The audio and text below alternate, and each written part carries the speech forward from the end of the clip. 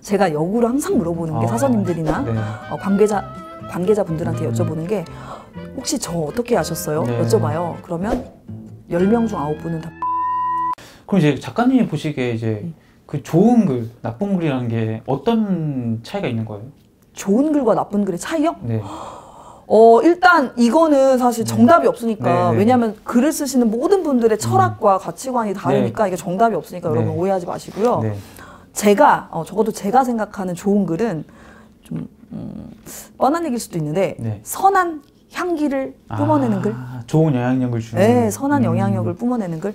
그러니까 예전에요, 며칠 전이었어요. 네. 아주 오래된 건 아니고 며칠 전에 제가 인스타그램을 이렇게 보고 있다가 네. 어, 저 깜짝 놀랐어요. 왜요, 왜?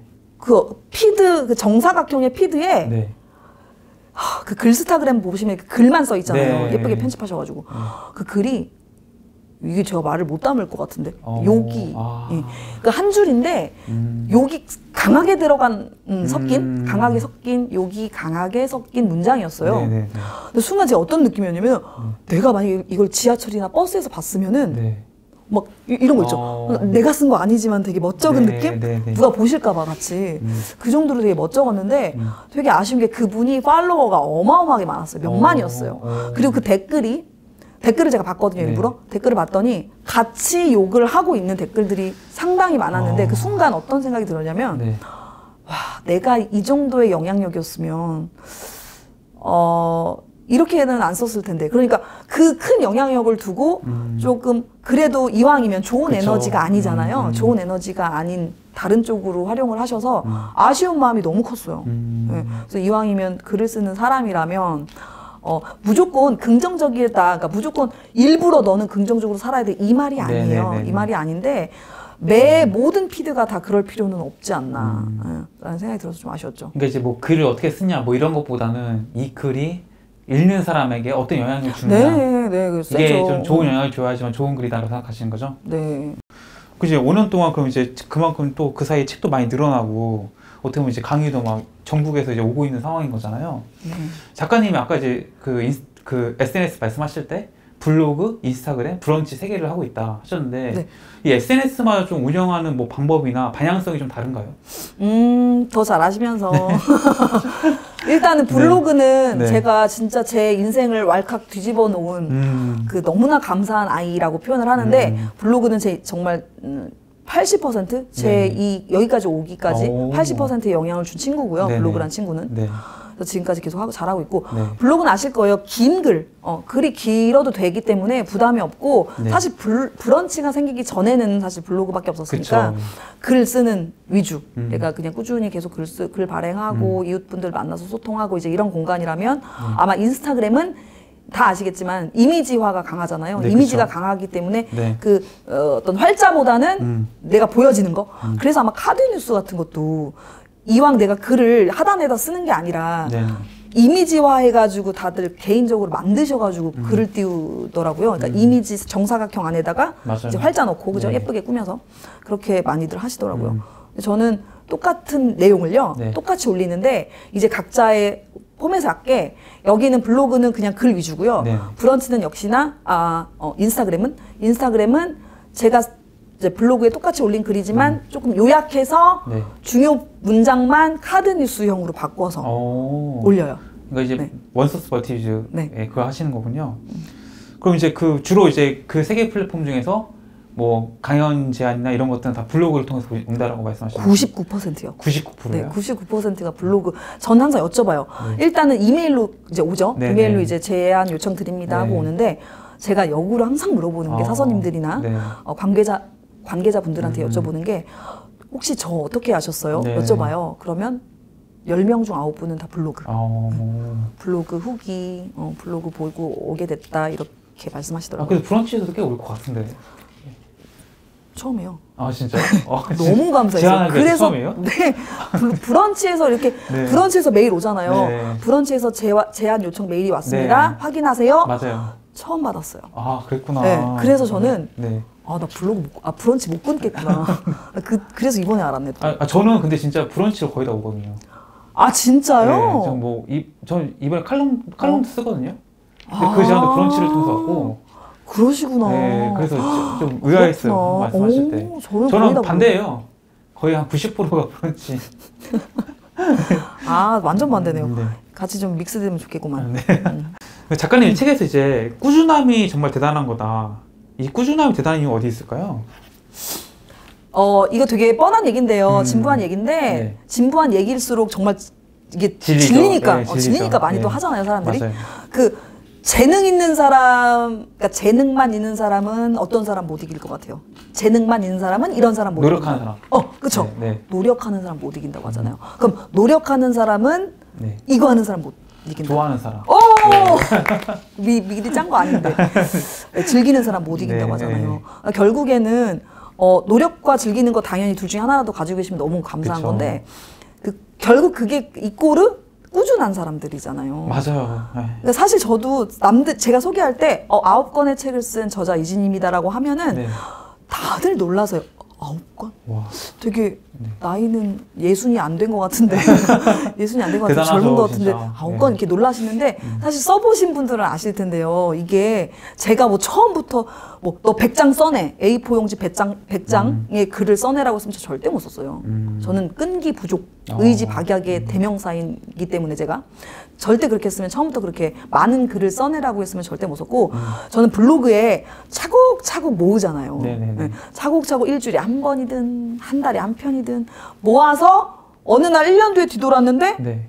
30편, 와. 40편 모였어. 음. 그 그거를 가지고 저는 책을 내거든요. 음. 그러니까 어렵지 않은 거죠. 음. 어, 그래서 꾸준하게 쓰는 사람은 어, 그 재능이 제가 솔직히 글쓰기 재능은 이게 겸손이 아니라 전 재능은 없어요. 진짜 재능은 없는데 그냥 꾸준히 모으고 쓰는 걸 좋아해요. 음. 그렇다 보니까 결과물로 책이 또 나와주고. 아니 근데 그 이제 꾸준하게 하지 못하는 왜 못한다고 생각하세요, 그럼? 어, 일단은 작은 성취물을 맛보지 않으셨을, 음. 맛보, 아직 맛보지 못하셨거나 네네. 아니면 뚜렷한, 어, 뚜렷한 목표가 없으시거나 음. 그냥 마냥 남들이 그냥 글쓰기 요새 대세니까 네. 글쓰기는 어른이 될수록 나이를 먹을수록 너무 중요한 영역이니까 네. 남들이 다 하니까 라고 하면은 이 동기부여가 없죠. 음. 어, 동기부여 없고 어, 뚜렷한 목표를 좀 세우셨으면 좋겠어요. 아, 근데 그- 사실 네. 그 뚜렷한 목표도 네. 나는 뭐 누가 세우기 싫어서 안 세우냐 그러시죠. 그쵸. 어. 네. 그래서 그 목표를 위해서 글쎄요 어떤 좋아하는 거를 네. 계속 또 그러니까 제가 블로그를 처음 한 게 글이 좋아서 한 게 아니라요. 네. 저는 중국 드라마가 좋아서 블로그를 한 거거든요. 오, 네네. 네. 그러니까 여러분들이 만약에 좋아하는 뭐 외국어가 있어, 음. 아니면 어떤 좋아하는 영화 장르가 있어, 네. 그럼 그것들을 소소하게 그냥 그 글이다라고 생각하지 마시고 네. 소개 소개하면서 그냥 짧은 대사 같은 거 있으면 음. 좀 한두 줄도 괜찮으니까 그렇게 써 나아가시면 그게 또 자기만의 컨텐츠가 되고 아. 또 쌓이다 보면은 한 줄 두 줄 글이란 쓰면 쓸수록 좀 늘어나더라고요. 네. 어 그렇게 좀 넓혀 가시면 지금 당장은 모르겠지만 하나 둘 3개월 6개월 지나다 보면은 어 난 전혀 생각 없었는데 이 모임 컨텐츠로 전자책 내볼까 음. 어, 이렇게 생각하실 수도 있고요. 네. 그 이제 작가님 글을 보면은 되게 쉽고 술술 잘 읽히거든요. 음, 감사합니다. 어떻게 보면 이제 이렇게 쉽게 읽히는 글을 잘 쓰시는 것 같은데 이런 글을 주로 쓰시는 이유가 있으신가요? 그 얘기 혹시 들어보셨어요? 어, 이게 좀 문장이 좀 긴데 네네. 정리를 잘해야 될 텐데 제가 네. 어, 독자가 읽었을 때 네. 쉽게 술술술 읽히는 글 있죠. 네네. 독자가 읽었을 때 쉽게 술술술 읽히는 글은 네. 이 글쓴이가 네. 굉장히 고뇌하며 네. 그 퇴고하는 그 다듬고 고치는 시간이지 퇴고죠. 네. 퇴고하는데 엄청난 에너지와 시간을 들인 글이고 음. 반대로 독자가 읽고 있는데 어려워. 음. 어, 소리내어 읽어도 혀가 막 꼬여. 네. 이런 글은 글 쓴 사람이 굉장히 쉽게 썼대요. 음. 지금 좀 차이 좀 느끼시나요? 네. 그래서 그 말은 저는 이제 독자분들을 위하, 위해서 글을 쓰는 거지 이게 일기장이 아니잖아요. 네, 그쵸, 그쵸. 그렇기 때문에 내가 좀 더 시간을 들여서라도 이분들이 읽었을 때 좀 술술술 재미있게 읽었으면 좋겠고 어차피 제가 에세이잖아요. 네. 에세이는 내가 막, 막 독서라는 어떤 공부라는 개념보다는 그쵸. 네. 편안하게 읽히고 음. 내가 편안하게 잘 읽히면서도 마음에 좀 힐링도 되는 네. 음, 두 가지를 가져가면 제일 더 좋은 거고 음.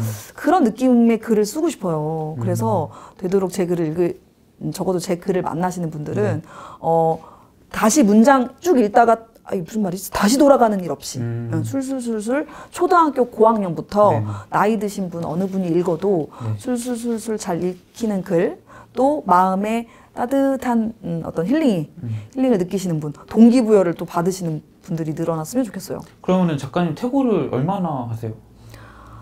토 나올 정도로. 아 지금 그냥 뭐 블로그나 토나- 그런 데 올리시는 글다 아. 그렇게 퇴고하시는 거예요? 아, 퇴고하죠. 어, 어, 퇴고하는데 네. 아 블로그나 이제 브런치는 이제 네. 책처럼 네. 책은 정말 거의 한 제가 50번 보니까요. 아, 그 정도는 진짜 아니고요. 대단하다. 네. 어, 50번은 아니고 네. 소리 내면서 50번. 음. 그러니까 정말 여기 멀미약을 붙여야 돼요. 아, 그럴 것 같아요, 진짜. 어. 근데 이제 블로그나 브런치에 발행되는 글은 그 네. 정도는 아닌데요. 음. 그래도 하루 반나절, 최소 반나절 정도 묵혀놨다가 음. 글을 묵혀놨다가 한 뭐 서너 시간 후에 아니면 하루 뒤에 네. 어, 임시 저장된 글이 있잖아요. 네네. 그걸 다시 열어서 소리 내어서 읽으면서 수정하죠. 와. 음. 그 작가님 작가로서 가장 보람을 느꼈을 때는 언제세요? 보람을 느낄 때는 당연히 저자로서 네. 독자분들의 어떤 좋은 평들, 음. 기분 좋은 평들 있잖아요. 음. 특히 이제 이번에 말 안 하면 노는 줄 알아요를 보시고 네네네. 가장 많이 들은 말이 네. 어, 지금 뭐 계속 얘기하고 있지만 글이 너무 잘 읽힌다. 어. 어, 음. 글이 너무 잘 읽힌다. 음. 그리고 에피소드가 재밌다. 음. 그리고 어, 문체가 통통 튄다. 어, 이렇게 말씀해 주시면 너무 보람돼요. 그러니까 제가 막 50번 소리내서 정말 토 나올 정도로 퇴고한 그게 사르르르르 녹을 정도로 기분이 좋죠. 음. 그래서 아 더 다음 차기작은 그 기분 좋으면서 이제 압박. 어, 다음 차기작은 더 열심히 준비해야 음. 되겠다. 이런 마음. 그 작가님 그 이제 글쓰기가 많이 하시니까 이제 작가님처럼 아 나도 에세이 한 권 내고 싶다 이런 분들이 아마 이 영상을 보고 계실 것 같은데 좀 글을 쓰는 작가님의 네. 뭔가 필살기? 글 쓰는 필살기? 네. 그, 어, 어, 혹시 저는 네. 일주일에 음. 만약에 정말 에세이를 쓰고 싶으시다 네. 어, 마음이 있으시면요. 네. 음, 이건 제 수업 때도 말씀드리는 건데 네. 대주제를 정하세요. 대주제? 어, 대주제를 정하시고 그 네. 아래에 가지를 치시면 좋거든요. 음. 그러니까 무슨 말인지 예를 들어 드릴게요. 네. 만약에 대주제가 없으면 네. 아 오늘은 뭐 쓰지? 아 내일은 뭐 쓸까? 그러니까 네. 뭐 쓸까가 글감이 없어서 고민하실 수도 있는데 음. 글감이 너무 많은 거야. 네. 너무 머릿속에 막 과부하 걸릴 정도로 글감이 많아가지고 정말 이 중에서 뭘 골라야 될지 모르는 경우도 이제 고민이죠. 네. 근데 대주제를 잡으면 사실 크게 아주 크게 고민은 안 하셔도 돼요. 예를 들어 볼게요. 어, 가장 관심 있는 대, 키워드 보세요. 가장 관심 있는 키워드. 어 요즘에는 습관? 습관. 네. 좋아요. 네. 자, 우리 작가님이 네. 지금 습관을 잡으셨어요, 대주제를. 네, 네. 그럼 이제 가지를 치면 돼요. 네. 앞으로 어떤 글을 쓰든 이 습관 안에서만 돌아가시면 되거든요. 어, 네, 네. 모든 에피소드가. 다른 거 보실 필요도 없어요. 음. 그러니까 습관과 관련된 내가 겪은 일, 네. 친구들이 겪은 일, 다른 사람이 겪은 일, 어. 이게 타인의 경험도 에세이를 쓸 수 있으니까 네, 네. 어, 가장 좋은 건 직접적인 경험이지만 음. 뭐 굳이 없다면은 뭐 이날은 없어. 이날은 내가 다른 친구의 어떤 습관 얘기 들었는데 너무 책으로 쓰면 재밌을 것 같아. 네. 이럴 땐 갖다 쓰셔도 돼요. 음. 어, 내 친구 A가 그랬다 이런 식으로. 네. 그리고 습관에 관한 네. 영화, 네. 드라마, 네. 책 음. 보시고요. 네. 나 라디오에서 들리 흘러나오는 거 네. 오락 프로그램 보시다가 그 유재석님이 하시는 그 유키즈 온더블럭 같은 네, 것도 습관 네. 음. 뭐 습관을 주제로 어떤 다뤘어. 네. 그럼 그런 것들 보시고 아. 자막 같은 거 음. 어, 이렇게 마음에 와닿거나 빨리빨리 지나간 어떤 말들 네. 캐치하셔가지고 이제 그 글 쓸 때 에피소드 하나의 꼭지에 그 대사 딱 띄워놓고 음. 내가 어제 봤던 프로그램에서 나왔던 이야기다. 역시 나 역시 공감하는 바이다. 블라블라블라 이어서 어, 글을 쓰기가 좀 용이해지거든요. 음. 그래서 그런 식으로 가지를 치시면 내가 나 그 습관의 그 습관을 벗어난 외에는 생각 안 하셔도 돼요. 그러니까 이게 내가 이제 뭐 글 쓸 주제를 찾고 이제 거기에 대해서만 계속 생각을 하는 거군요. 보고 듣고 다 모든 걸 거기에 연관시켜서. 네, 네, 네. 책 책을 보셔도 습관에 관련된 음. 책을 보시면 인용구로 쓰실 수가 있고. 아 그럼 뭐 마인드맵 같은 그림은 훨씬 더 좋겠네요. 어, 좋죠. 음. 되시면 시간 되시면 음. 훨씬 좋죠. 작가 되길 희망하는 분들에게 좀 해주고 싶으신 말씀이 있으시다면. 어, 작가는 네. 본인이 직접 겪은 이야기를 쓰는 게 아무래도 공감 사기가 어, 독자분들한테 공감을 불러 일으키기가 좋죠. 네. 어, 타인의 얘기를 듣고 잘 이제 가공해서 잘 네. 듣고 예쁘게 글을 만들어서 뭐 쓰시는 것도 좋지만 결국에는 본인이 많이 듣고 보고 만지고 겪고 먹어보고 어, 느껴보고 그래서 감정을 음. 여러 가지 감정을 느끼시려면 내가 많은 일을 경험해야 되는데 네, 네. 일부러 막 나가시라는 게 아니라요. 음. 나한테 좋은 일이 있을 수도 있고 또 안 좋은 일이 있을 수 사람 인생은 당연히 그렇잖아요. 음. 좋은 일이 있으면 안 좋은 일이 있잖아요. 근데 설령 안 좋은 일, 설령 내 계획이 틀어진 일, 음. 설령 어우 생각지도 못했던 기분 나쁜 일이 생길지라도 그거를 아이 왜 나한테 이런 일이 왔어, 아이 짜증나 이게 아니라 음. 이제 이제 우리는 글을 쓸 거니까 네. 그래 이왕 왔으니까 잘 왔다. 음. 그래서 그 감정을 오롯이 느끼시면서 글을 좀 쓰셨으면 좋겠어요. 음. 음, 그래서 다양한 감정을 느껴보시고 또 아까 초반에 말씀드렸지만 이왕 글을 쓰는 거라면 되도록 선한 영향이 흐르는 음. 글을 좀 음, 다, 그러니까 100편을 쓸 건데 100편 모두 긍정적으로 가라는 말이 아니라요. 오해하시지 마시고요. 그러니까 이게 처음부터 끝까지 다 어, 어둠의 글보다는 음. 처음부터 끝까지 좋은 글이 좋긴 하지만 다 그러실 필요는 없고 중간중간에 솔직하게 기분 나쁘면 나쁜 대로 어, 서러우면 서러운 대로 뭐 슬프면 슬픈 대로 이렇게 툭 내던지게 내던지는 글. 음. 아 진짜 오늘은 그냥 잠만 자고 싶다. 아무 생각 하고 싶지 않다. 음. 그럼 여기서 중단하셔도 돼요. 그냥 있는 그대로. 네. 어, 굳이 뭐 긍정을 꺼, 끄집어 내실 필요는 없는데 제가 말씀드리는 건 이제 비율적인 부분이에요. 대부분 나의 대부분의 글이 흐르는 흐르는 그 색깔이 선한 영향력을 끼치는 그런 선한 색깔 어, 이었으면 좋겠다는 얘기죠. 네, 끝으로 구독자분들에게 좀 해주고 싶으신 말씀 있으신가요? 어, 일단 제가 이제 일단 신간 나와서 또 불러주셨으니까 또 신간 얘기를 조금 짧게, 짧게 드리자면 그 에세이 말 안 하면 노는 줄 알아요가 사실 네. 어떻게 시작은 네. 시작부터는 살짝 이제 친구가 오해해서 생- 시작이 됐다면 사실 네. 근데 그 친구한테 고마운 게그 네. 친구 때문에 사실 이 제목이 나왔어요. 어, 이 제목 자체가. 예, 예. 어, 친구야 고맙다. 어, 이 친구 덕분에 이제 제목이 좋은 제목이 나왔고 네. 글 자체도 그러니까 책은 되게 얇아요. 얇고 음. 가벼운데 음. 그렇다고 내용이 가볍지만은 않아요. 그러니까 음. 내용이 완전히 가볍진 않고 아마 여러분들 보시는 분들이 음.